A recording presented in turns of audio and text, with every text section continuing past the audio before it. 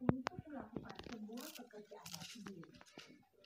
Kalau kau membantunya, itu akan merusak kebiasaan menantu.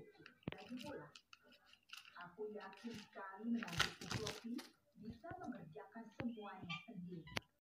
Aku ingin mengucapkan terima kasih untuk semua informasi.